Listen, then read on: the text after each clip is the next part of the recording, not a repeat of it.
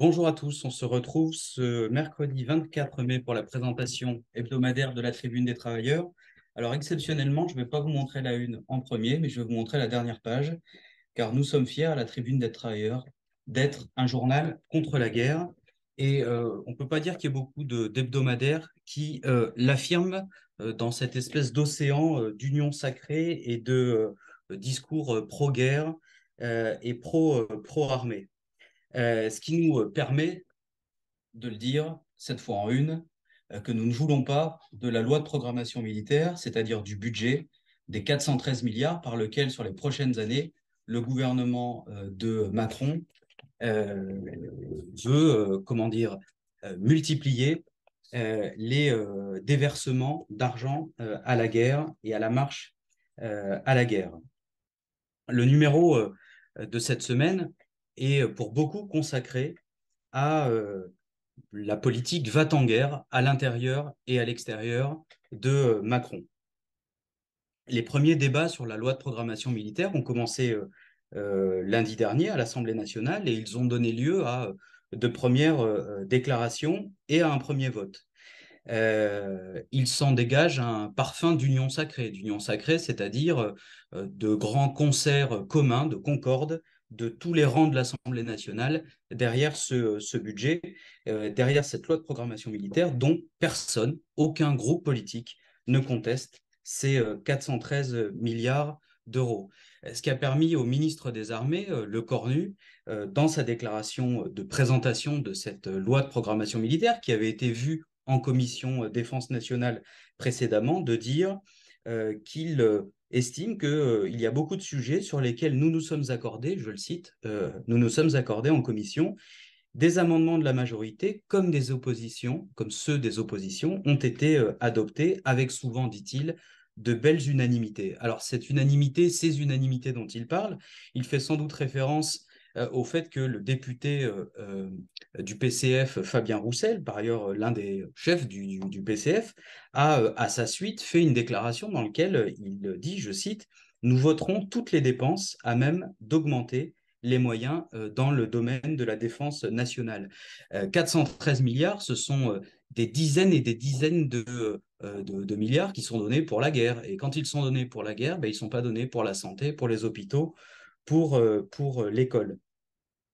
Au final, euh, l'article premier, qui était discuté euh, euh, lundi, a été adopté dans la soirée sans aucun vote contre, sans aucune abstention. Il y a eu 91 votes exprimés, sans votants.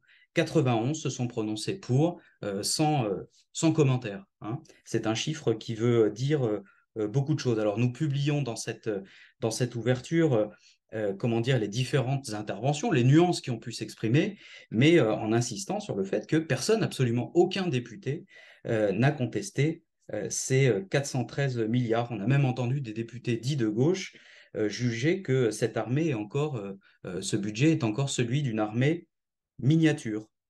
on a entendu d'autres personnes estimer que, à gauche qu'il fallait que le budget soit plus important.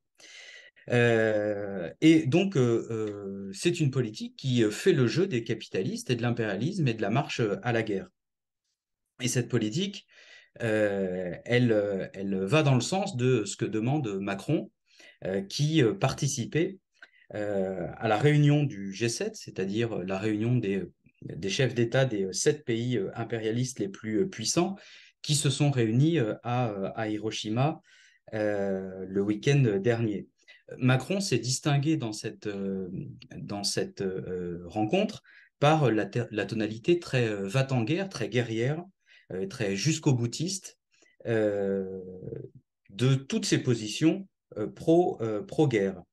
il explique par exemple que la guerre entre la Russie et l'Ukraine, c'est une guerre de défense de nos principes et de notre sécurité nationale nos principes, notre sécurité nationale. Si on comprend cette déclaration, ça voudrait dire que, d'une certaine manière, c'est une guerre qui est beaucoup plus générale euh, que euh, la question de l'Ukraine ou de la Russie et qui impliquerait de nombreux pays, euh, dont la France. Macron a également fait référence à son refus de voir que le conflit soit gelé. Alors, un conflit gelé, c'est un conflit armé qui, après une phase militaire, est suspendu. Et il peut être notamment suspendu par un, cessez-le-feu durant une, certaine période. Or, notre opposition, c'est précisément qu'un cessez-le-feu permettrait au contraire, de manière immédiate, de sauver des milliers de vies de chaque côté de la frontière. Mais ça, ça ne convient pas à Macron. Hors de question pour lui d'arrêter la guerre. Il faut continuer la guerre à tout prix. Et cette position rejoint celle développée dans le G7 par Biden et le chef de l'impérialisme américain. Dans le sommet du G7, c'était un, sommet de préparation de la généralisation de la guerre. D'ailleurs, le choix de la ville d'Hiroshima au Japon pour ce sommet, du, du, G7, qui a été largement dominé par l'impérialisme américain, en dit long. Hiroshima, Nagasaki, en 1945, en août, ces villes ont été totalement ravagées euh, par la bombe atomique que le gouvernement américain, justement, euh, d'alors euh, avait décidé d'utiliser pour, terroriser les peuples. Dans, ce, dans cette rencontre du, du, G7, sur lequel nous revenons largement dans ce, dans ce numéro, eh bien, nous expliquons que c'est à nouveau l'agenda de l'impérialisme américain qui s'est imposé à tous, même si cela se fait au détriment des intérêts économiques et commerciaux de ses alliés qui étaient pourtant présents dans cette, euh, cette rencontre. Euh, le, le, G7 euh, a fait déboucher de, sa, de ces échanges un véritable embargo contre, la Russie.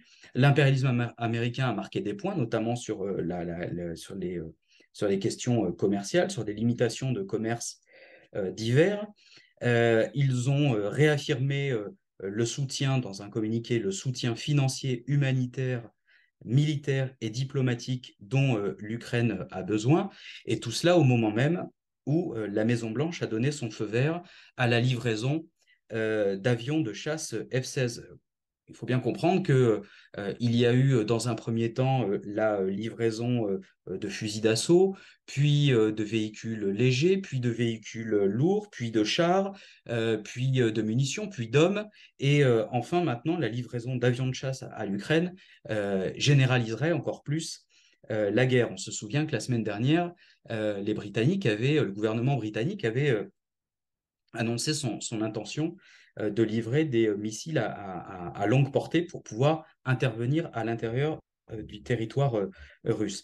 Mais ça n'a il n'a pas été question que de l'Ukraine et de la Russie, puisque concernant la Chine, la presse rapporte que le G7 a évoqué l'idée d'un OTAN économique pour contrer la Chine. Un OTAN économique, c'est-à-dire pas seulement une offensive militaire ou une alliance militaire, mais y compris une alliance commerciale euh, contre, euh, contre la Chine. Notons également, et nous y revenons, qu'à l'occasion de, ce, de cette rencontre euh, impérialiste, des militants internationalistes japonais, eux, ont organisé un rassemblement contre ce sommet, dénonçant à juste titre, et nous le citons dans, dans, cette, dans ce numéro, la nature impérialiste de ce conflit en Ukraine, nature impérialiste d'un conflit des deux côtés de, de la frontière. Et euh, pour revenir à la situation euh, en, France, alors pendant que le gouvernement euh, donne 413 milliards pour la guerre, pendant ce temps-là, bien, il manque de tout dans les écoles, dans les hôpitaux, dans les services publics. les parents, de plus en plus dans les écoles, sont confrontés au non-remplacement des enseignants. Et quand ils s'adressent au rectorat, quand ils s'adressent aux autorités académiques, on leur répond on a, on a personne si bien que dans plusieurs villes, euh, des euh, enfants euh, à la fin de l'année de CP ne savent pas lire et ce ne sont pas des, raretés.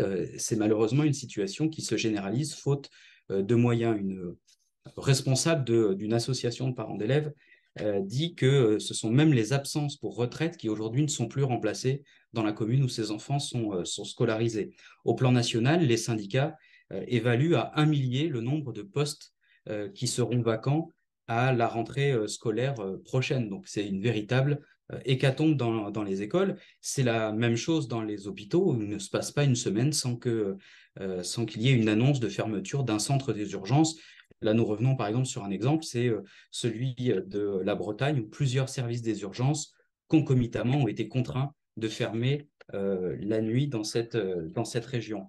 Nous opposons à cela, nous sommes un, journal ouvrier au service d'une politique ouvrière, ce que ferait un gouvernement ouvrier. Eh bien, à l'inverse de cette politique, il réquisitionnerait les 413 milliards de la guerre pour organiser le blocage des prix et euh, des, prix des produits de première nécessité, l'annulation des hausses euh, euh, de, prix du gaz et de l'électricité, l'augmentation générale des salaires, le recrutement massif d'enseignants, d'hospitaliers, euh, la création de toutes les places en crèche et bien sûr l'abrogation de toutes les contre-réformes, notamment sur les retraites, que ce gouvernement prétend mettre en place.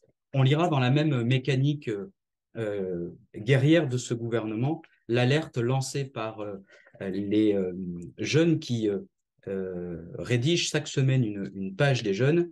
Cette alerte euh, est intitulée Macron veut installer le service national universel dans nos lycées dès le mois de septembre. En effet, disent-ils, leurs enseignants seraient incités financièrement à fabriquer ce qu'ils appellent des classes d'engagement. C'est ce le nom que donne le gouvernement à cette nouvelle euh, initiative qu'il cherche à engager. Alors de quoi s'agit-il? Ce serait un volontariat collectif, ce sont les termes du gouvernement, on va voir ce qu'il en est, pour mettre en place des classes d'engagement dans les lycées dès septembre prochain. Dès septembre, tous les enseignants et euh, tous les proviseurs devront répondre à un appel à projet pour obtenir un label à partir d'un programme pédagogique qu'ils auront euh, préparé. Ensuite, les élèves de seconde d'une classe ou de plusieurs classes du lycée retenu réaliseront ensuite 12 jours de séjour de cohésion, c'est-à-dire ce qui était prévu dans le service national universel, ce qui existe déjà, à savoir un bourrage de crâne organisé par des militaires avec salut euh, au drapeau, euh, marche au pas, euh, apprentissage de la Marseillaise, porte de l'uniforme, etc., diverses activités militaires. Et cela se ferait désormais sur le temps scolaire. Les jeunes partiront avec leurs enseignants, avec toute leur classe, dans des centres SNU. Alors, on parle de volontariat collectif selon le gouvernement, mais en réalité, la participation au SNU ne serait pas obligatoire jusqu'à ce que l'enseignant lui-même décide que sa classe euh, s'y euh, inscrive. Comment compte faire le gouvernement? Eh bien, il euh, fait le choix que les professeurs qui seront à l'initiative de ces classes d'engagement seront récompensés financièrement, incités financièrement avec la loi Pacte que le, que le chef de l'État a annoncé euh, courant, euh, courant avril. Donc, que veut faire Macron? C'est transformer les professeurs en sergents recruteurs directement dans les lycées à la place de l'école. Notons d'ailleurs que tous les frais engagés par le séjour SNU, c'est-à-dire le transport, le séjour en lui-même et tout le projet pédagogique, entre guillemets, sera pris en charge par l'éducation nationale.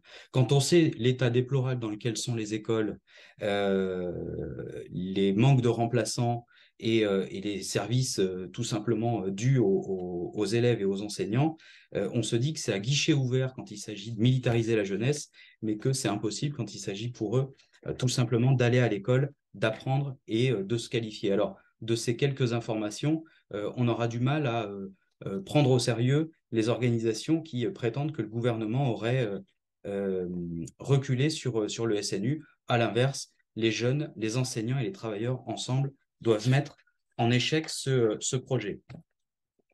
Le journal revient également sur le meeting européen contre la guerre qui se prépare. Vous en lirez différents articles dans le, dans le journal. Et au centre de ce meeting, la lutte contre la guerre, la lutte contre l'union sacrée pro-guerre et euh, la lutte contre Macron. Dehors Macron, bien dehors Macron, ce mot d'ordre, Macron démission, euh, a surgi spontanément dans les manifestations de ces derniers mois contre euh, sa réforme des retraites.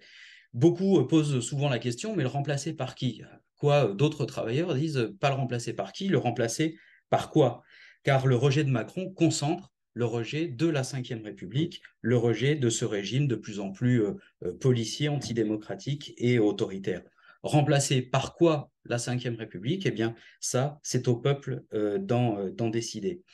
Euh, et pour cela, ces travailleurs sont en droit d'attendre des organisations qui disent les représenter, qu'elles se prononcent clairement pour mettre à bas la Ve République. Ce n'est pourtant pas le cas, comme on le lira dans l'éditorial, où beaucoup à gauche se déchirent pourtant avec en toile de fond une seule question, qui sera candidat à l'élection présidentielle de 2027, c'est-à-dire dans quatre ans, et dans le respect du calendrier institutionnel?